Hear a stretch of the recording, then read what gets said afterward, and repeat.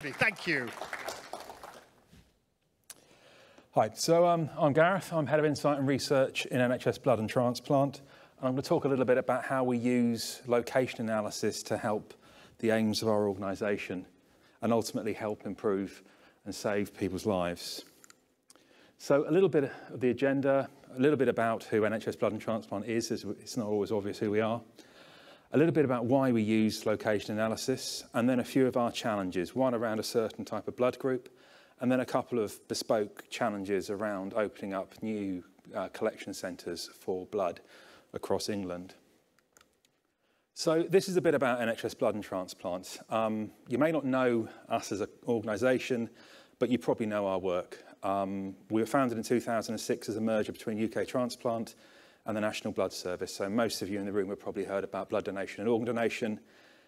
In England, we manage the collection of blood and across the UK, we manage the collection of organs. And we collect around one and a half million of units of blood, up to that, it's about 1.4 million this year predicted, from around 800,000 donors at about 25 fixed centres and 1,300 mobile sites. We also collect around 65,000 units of platelets a year from uh, 13,000 odd donors at fixed sites. And we're just starting to collect plasma for the first time uh, in about 30 years um, from three fixed sites. And we have, that's actually been out of date. We've been very successful with plasma. I think that's near 9,000 now. Um, we transplanted over 4,000 organs from around 1,400 deceased donors. We manage an organ donation registry of over 25 million records. The Pulse blood donor system has around 5 million records plus 5 million donors on, uh, plus around another 5 million in the archive as we're required to keep records for 30 years. Uh, we have about 5,000 staff, three processing centres and one tissue bank. And why do we use location analysis? Well, it's, um, we're actually going to talk about marketing theory a little bit. So the four P's of marketing, product, place, price, promotion. Um, it's from Kotler and Keller. Um, if you've ever done business studies or anything, you might have the misfortune to read those books. They're pretty long and dry. And someone always points out that the Irish marketer P.R. Smith added another three. Uh, that's people, process and physical experience to the groups. But really, uh, as blood donation, it's a voluntary activity. And the same with all organs. We need to essentially promote our products. So we, we do do quite a bit of marketing. Um, and the theories of product, product price, place and promotion. Um, we can only control two of them because the product is pretty much set. We're not Sony, we can't innovate, innovate and create a Walkman. The price of blood is set by the government. So we can only really control the place and the promotion. So how do we market and where do we market or where do we collect? And that's why place is so important to us, that mix of the marketing. So I'll talk a little bit about the tools we use. Um, you don't have to use the tools. There are other ones out there. So we use CACI's Insight mapping tool, but there are other tools out there. There's MapInfo, which I used to use when I worked in the police, but there's also free tools like QGIS, and there's also Esri as well. Um, Insight is the mapping tool we choose. It's quite unique because it uses postcode data rather than a lot of other ones will, can use MSOAs. It makes it great for some data points, slightly more challenging for others, but it means we can upload data um, as long as it's got a postcode. So we talked about partnerships with a major supermarket. We're actually able, someone has published a spreadsheet online with all the postcodes of that supermarket. We can upload that. Um, we can convert some of the census data to that, but the package we have has all the census data uploaded by CACI along with their ACORN Geodem data, and that's updated each year. And when CACI update the Geodem data, they all go through and update the census data in the same methodologies as the ONS. So we get very up-to-date data at a, a postcode level.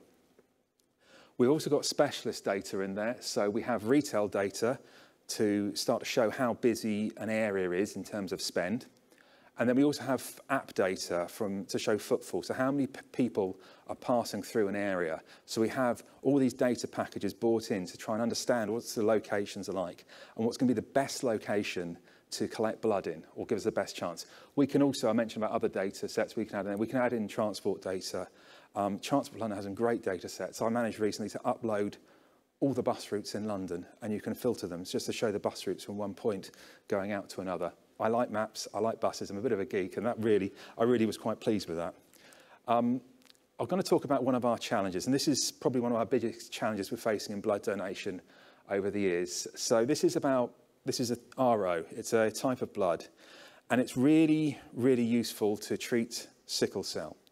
Um, so sickle cell is a, is a disease where about 15,000 people are affected. Um, it's more prevalent than cystic fibrosis, and it's an inherited blood disorder that causes misshapen red blood cells, as you can see on the top right image, and it blocks blood vessels, blood flow, and causes really painful crises, so painful that, they're often, that uh, sufferers are often required to have morphine in hospital. And one of the best transfusions is, uh, one of the best treatments is a transfusion with um, very closely matched blood. And this RO blood is one of the best matches for most people who suffer from sickle cell. It's very rare. It's found in about 2% of the population overall. But that's not true for every population. So it can be found in up to 60% of some African communities and up to about 40% of some Caribbean communities. So the challenge we have is to significantly grow this donor base and also recruit blood donors from communities who've typically been quite hard for us to reach as an organisation. And the demand for this blood group is growing year on year. 40 years ago, most sickle cell people, most sickle cell sufferers probably wouldn't get past their 30s. Now many of them are having grandchildren. So that you can see why that the effective treatments are helping people with sickle cell live longer. It also creates more of a problem for us as we've got to get more donors to treat people. But this is, one, this is the challenges we are facing. So um, I mentioned that these communities are often some of the hardest ones to reach through for, for us as a blood donation organisation. The other challenge we have is NHS Blood and Transplant is being, we're formed in the 1940s out of the back of the Second World War and the RAF, and we're quite a rural organisation. We're traditionally market towns and shires. And when we look at population data, the most diverse communities are in our city centres, and particularly London. So we've actually got to shift where we go as an organisation. And by using all this data, we started off by looking at where we could target our marketing. So we've got postcode level data. We can then market in the correct areas. We can target through by um, online, but we can also look to work with community groups in the areas. And we also set up a new mobile blood donation team to get into the communities, be a part of the communities, and collect blood in the communities. So that was the first thing we did with the RO Challenge, to try and improve our marketing, to try and be there in the communities. But it really wasn't enough. And local community groups were saying that we needed to have a donor centre and a visible presence, going back to, I mentioned PR Smith and a physical presence of we need to be seen to be in the community. So we wanted to have a blood donation centre in the heart of the black community in London. So we use population data to identify the hotspots um, for where a, population. We then, as you can see in this very, very busy map on the right, what we did is we overlaid it with all sorts of other data sets on there. So the green blobs there on there represent the retail spend and the footfall. So we're actually able to see how much the, the, the hotspots match up with where people are going the dots on the map represent um, train stations. So we took TfL and National Rail data and looked to see where the busiest train stations were, trying to identify the busiest hotspots. And then we took our footfall data, which is traditionally at, well, we get it at acorn level, which isn't great for trying to break things down by ethnicity. But it has um, one very clever thing at the bottom there where it's ringed. What it does is it looks at the groups who are in the area about how far they travelled so we can not only see whether people are living, we can see that actually some areas have very high proportions of local visitors and local residents travelling perhaps only two or three miles into these retail areas. And by doing this, we're able to gather enough evidence to identify some suitable areas for a donor centre. One was Brixton, one was Peckham, and one was Lewisham. And when we're doing that, we have challenges because ultimately trying to find property in London or anywhere can be a real challenge. Trying to find property to meet our very specific needs. Um, you know, we have to have certain types of floors in case blood gets spilt. So there's all sorts of things we have to consider. So it can be a real challenge finding property. So having that data there and actually then keep referring back whenever there's a challenge, whenever says, you know what, we're really struggling to find there, why don't we just go and get a nice office space in Croydon? We can go, no, back to the map. That map is, telling, saying we need to be in these communities. We need to keep on searching. And that was really important because one of the people driving the project at one point was retiring in three months and wanted to have the property signed, sealed by the time they retired. Thankfully, we we're able to use the data to say, nah, we're gonna, we need to stay here. What we have got now is we've got a, a donor centre opening in Brixton. Um, on the map there, if you know Brixton, it's just by the station. It's a really busy area, just right by the bridge. It's got a lovely frontage and it curves around, so it's really visible. Um, it's opening hopefully in 2024. And one of the challenges with all these donor centres, they take a really long time to open. And that's one of the, one of the challenges we'll come on to soon. So after um, a pandemic, which we found quite difficult, um, we declared our first ever Amber Alert for blood in 2022, which we came very close to, well, our supplies were very, very low. And what we did as a TIT insights team is we were tasked with working on a project to identify where we could open up new donor centres. The government had given us money, they didn't want this, they decided that we should open up some more donor centres to increase capacity to avoid this ever happening again. And what we did is we used a technique called cookie cutter. We used our insight tool and it's very, very, it's used by a lot of retail companies. So um, B&Q use it, for example, where to place the branches. So what we did is we, identif- we, we filtered down to towns of a certain size, and then we asked the program to find places that would not impact our other donor centres and come up with a list of donor centres and areas that would be suitable. That was then refined by other team members um, who used a matrix to help decide which areas would be great for perhaps recruiting even more donors of Black heritage, which groups, which area would help release perhaps mobile capacity in a town, and then the mobile team can go and serve the country areas around the town, or which areas are really good and fulfilling a, an untapped demand of um, new blood donors. We've got a centre opening in Brighton very soon, thanks to this method.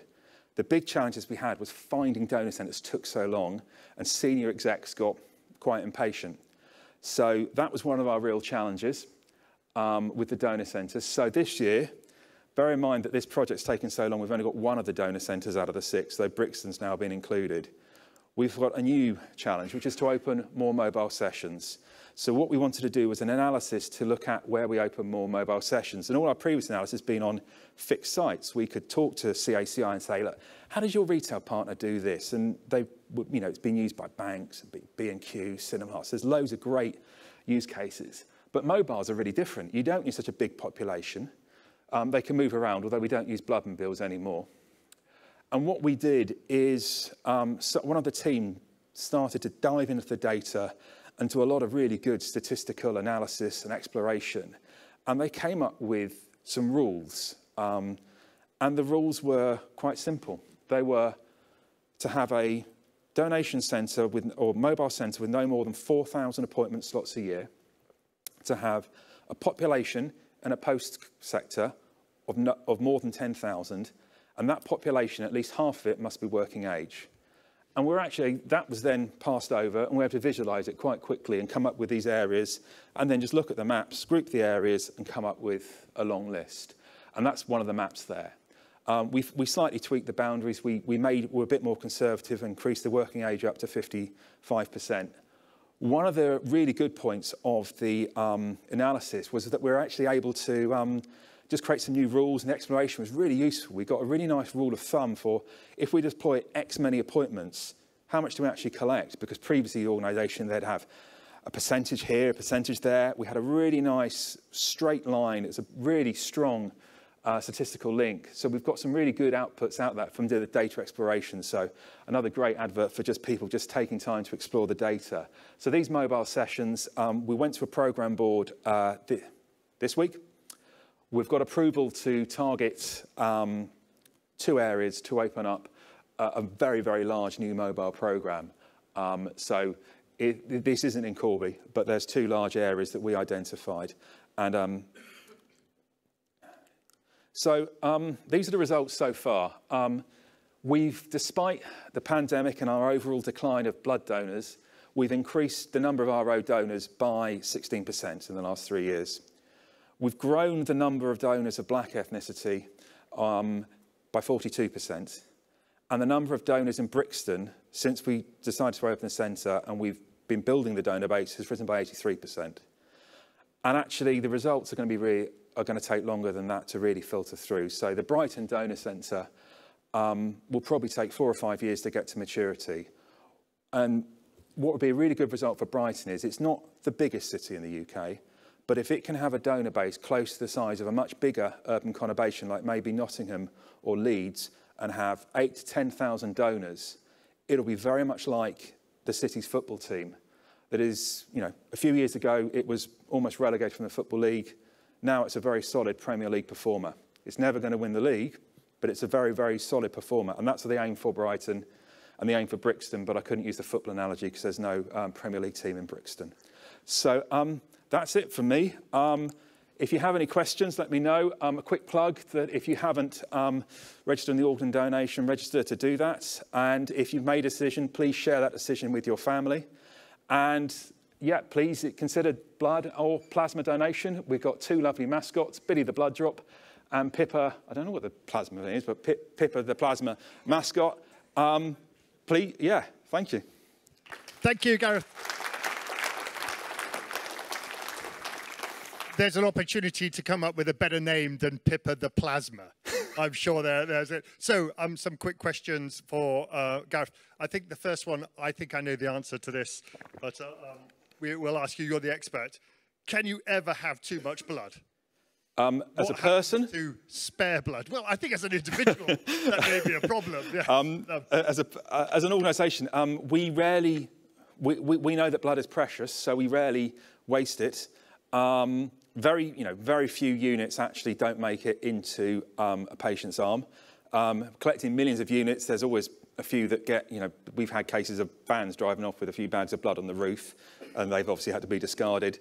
But generally, virtual blood is used. Um, if it isn't used directly for uh, a blood transfusion, some of it is used to make reagents, which are the testing kits. And without that, we couldn't have transfusion. So it's almost always used. And some parts of the blood can be used for other products. So we can take platelets out of a whole blood donation and plasma as well. Cool. Friends, please sit down. You could join us. You know, obviously you made poor choices and went to other sessions, but you can join us now. That's okay. We're all friends here. And uh, um, so another quick question. Um, I know that you've talked a lot about the, the very complex work about looking at where best to place things yes. to, to, to, hit certain markets. And I love this idea of marketing to, mm. to better understand those audiences. Um, have you thought about using NHS hospital space, NHS properties, so, um, even if it's just for staff donations? Yes, um, we we've made some political decisions as an organisation to collect less in sort of industrial places, which sometimes includes hospitals. But we have sites on hospitals. One of our most successful um, donation centres in London is in Tooting on the back of St George's. Uh, we have one at Edgware on a hospital site. We have Cambridge, Oxford, uh, Bristol's on a hospital site, Lancaster, I think Newcastle. Um, I think that's, yeah, so we do collect on some hospital sites. Fantastic. And if you're if you're volunteering your hospital site or NHS building, I'm sure Gareth would uh, most probably be oh, interested. Oh, definitely. The service would be interested um, too. Do you find the media has an impact on the numbers of donors? I'm thinking about Netflix shows Supacell and um, and its theme of sickle cell. Um, ever link this kind of analysis to in there? To, so, to? yeah, the media has an impact on donors. Um, generally, the biggest constraint is how much we can collect, the sessions, and how much we need. Um, but actually, if you're looking at people registering an interest to donate, the media can really drive that. When we launch with a big national campaign, we can get tens of thousands of registrations in a day, and also people come back and book appointments. So yeah, the media is a very key part of our mix, and PR is certainly a really useful tool to drive donations. Fantastic. As we're waiting for our friends and colleagues to join us, because obviously I know you're waiting for the, the, the fantastic end of day